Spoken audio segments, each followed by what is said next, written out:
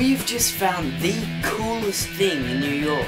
Yeah, Somewhere in the city, there's this group of kids. and they're creating all this stuff. New technology, clothes, ways to get around. Incredible ways to get around.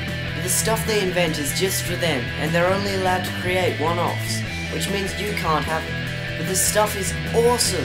Anyway, we're not giving too much away right now. But we will tell you they're working out of a warehouse somewhere in Manhattan.